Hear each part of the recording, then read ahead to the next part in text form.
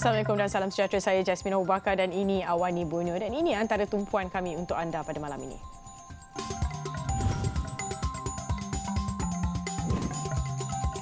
Kedudukan empat bekas MP Bersatu Sabah diumum selepas 21 hari.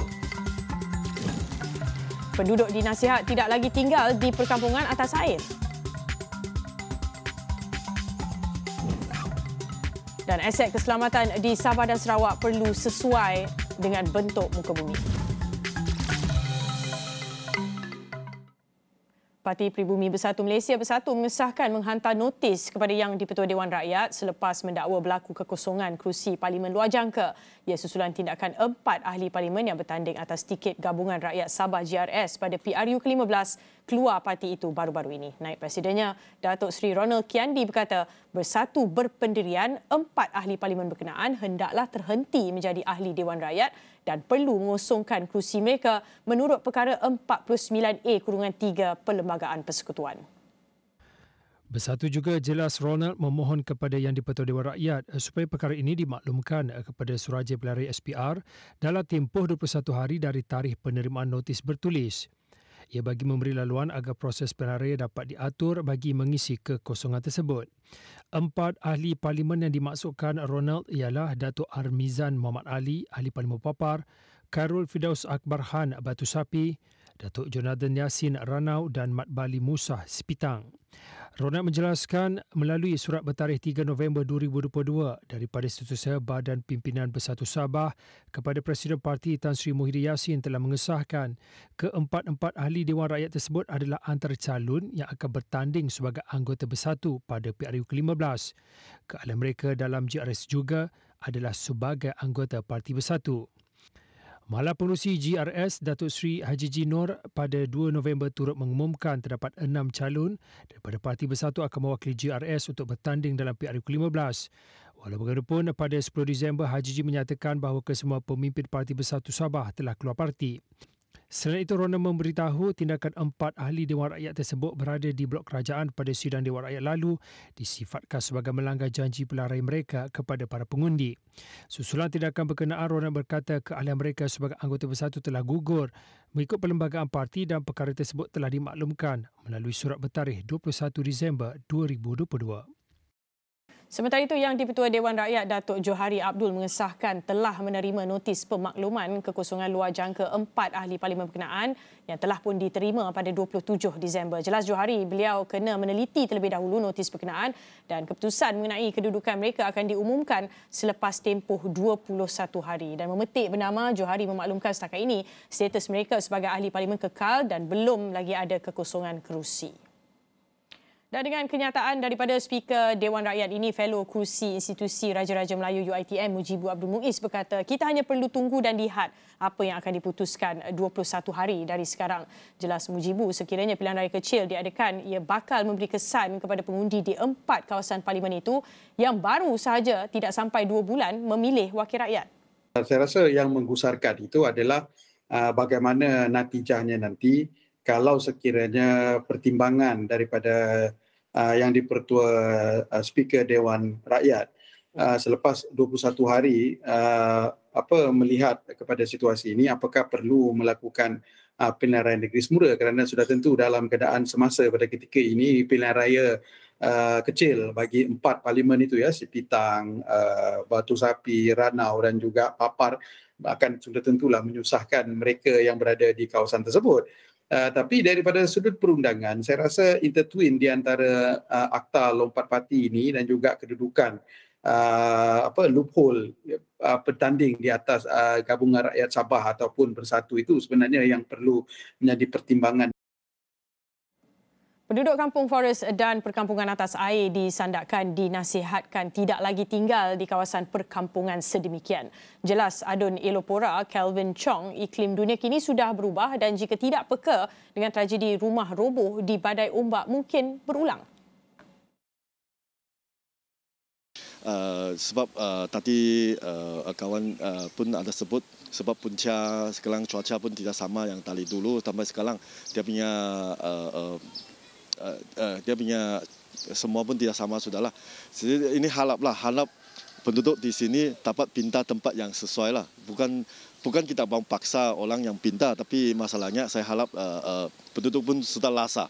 Dulu tidak macam ini, sudah tinggal 60 tahun, 70 tahun, tak ada, tak ada, tak ada, tak ada, tak ada bencana ini macam. Tapi sekarang ada bencana ini macam saya harap uh, penduduk di sini harap dapat uh, fikir dua kali, tiga kali pinta tempat yang sesuai. Tambah Kelvin, selain Kampung Forest, lima lagi kampung yang tidak digazet berada di pesisir Laut Sandakan. Kampung Mangkalinau, Kampung Icebox, Kampung Arang dan Kampung Corona. Dianggarkan sekitar 3,000 rumah dilaporkan wujud di perkampungan berkenaan. Menteri di Jabatan Perdana Menteri Hal Ehwal Sabah dan Sarawak Datuk Wilson Ugak Kumbung akan melihat kepada permohonan Angkatan Pertahanan Awam Malaysia APM Sarawak untuk menambah aset keselamatan bagi kegunaan di kawasan pedalaman. Ia melibatkan aset 30 ambulans yang diubah suai khusus untuk kawasan berbukit, tanah tinggi dan permukaan yang tidak rata. Muka bumi kita berlainan dengan di Semenanjung. Dan juga kita menempuhkan cabaran-cabaran yang amat penting kalau kita nak pergi ke kawasan pendalaman. Jadi uh, mereka mungkin memerlukan ambulans yang four wheel untuk pergi ke kawasan-kawasan seperti di Long Busang.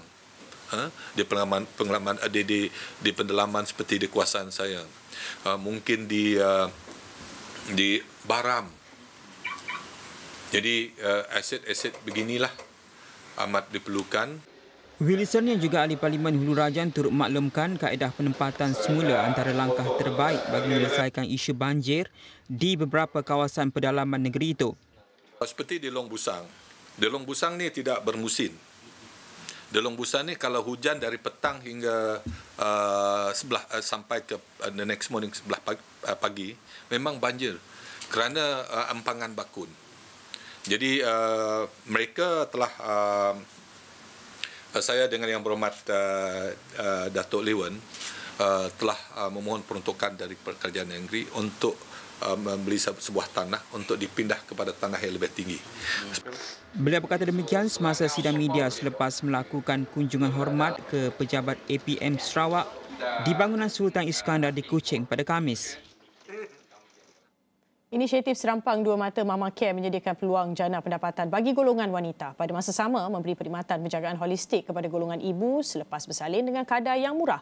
Sejak ditubuhkan pada tahun 2018, Mama Care telah melahirkan 120 pengamal di Sarawak. Menteri Pembangunan Wanita, Keluarga dan Masyarakat Datuk Seri Nancy Shukri sehubungan itu, beliau berharap lebih ramai para wanita memanfaatkan Mama Care khususnya dalam usaha meningkatkan kesejahteraan serta kesihatan reproduktif mereka. So dalam keadaan kita pada hari ini kita nampak inilah satu satu uh, aktiviti yang memang memang laku. You go to overseas pun inilah yang diperlukan dan kita masih charge pada mas pada kadar yang murah lagi. Jadi uh, saya mengharapkan uh, lebih ramai akan menggunakan perkhidmatan Mama Care ini. Setakat ini very cheap, RM60 lah satu jam. Hmm, so bagi saya dalam keadaan ekonomi seperti ini, uh, mereka perlu melihat uh, review baliklah uh, dia punya charges uh, dan perkhidmatan mereka saya nampak memang quite quite professional lah. Ha?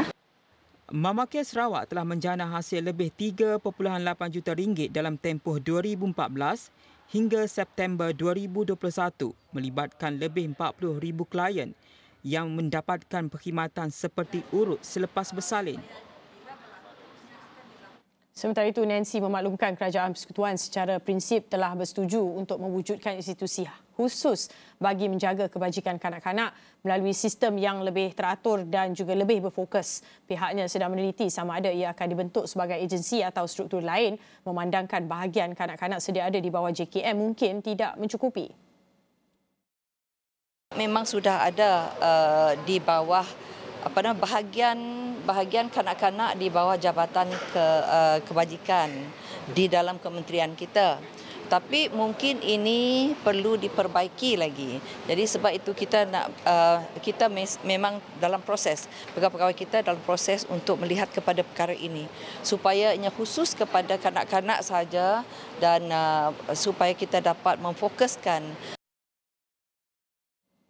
Mengulas mengenai kes dera kanak-kanak 4 tahun di Johor Bahru baru-baru ini, Nancy memberitahu ada keperluan untuk meminda Akta Kanak-Kanak 2001. Ini kerana perundangan yang kuat amat diperlukan untuk membantras kes sedemikian daripada terus berleluasa.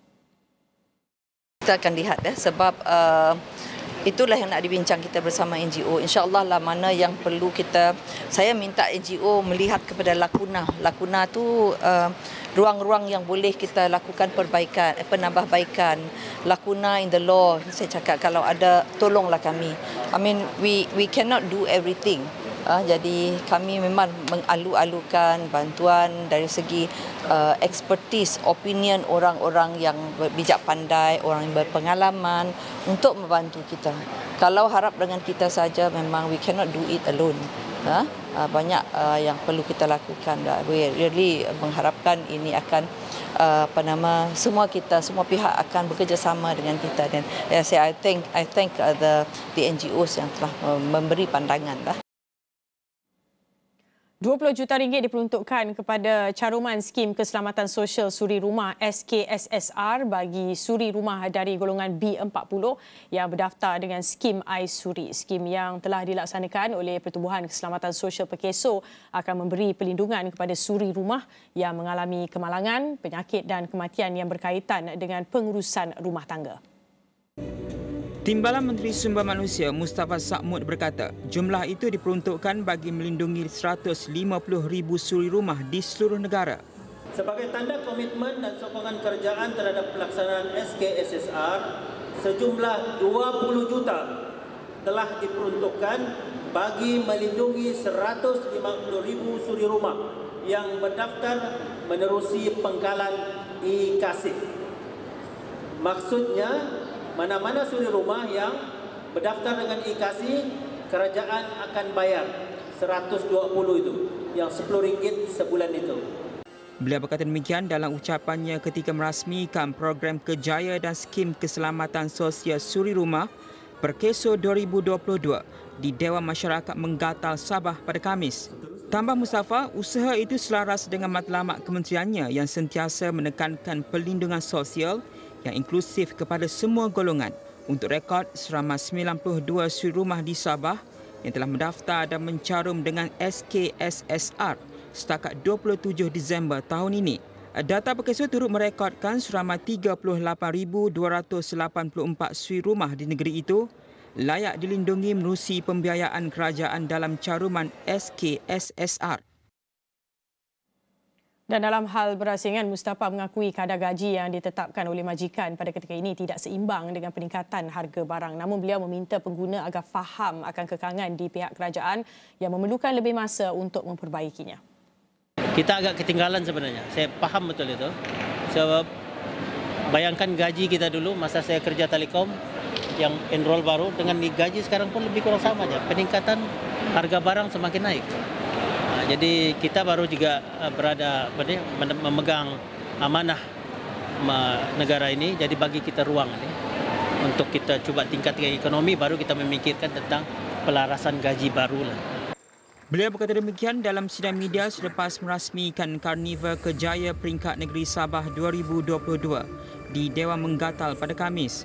Ahli Parlimen Sepangga itu turut meminta golongan muda di negara ini tidak terlalu memilih kerja bagi mengelakkan daripada menganggur terlalu lama. Jelasnya bagi mengatasi isu itu, kementeriannya turut berkolaborasi bersama syarikat-syarikat tempatan menambah peluang pekerjaan. Saya minta lah kepada uh, pencari kerja kita, anak-anak muda ini jangan terlalu memilih kerja lah. Jangan terlalu memilih, memilih kerja dan cuba buat matching lah, matching dengan kerja yang ada ini dan ambil dulu, kerja dulu, ambil pengalaman itu supaya uh, tidak terlalu lama menganggur. Uh, pada masa yang sama juga kita uh, cuba berkolaborasi dengan syarikat-syarikat yang ada di sekitar Sabah. Untuk rekod, Sabah mencatatkan kadar pengangguran yang tinggi iaitu 8.2% pada suku ketiga tahun ini. Laporan itu tadi mengakhiri awan di Borneo untuk malam ini. Saya Jasmine Abu Bakar. Assalamualaikum. Kita jumpa lagi.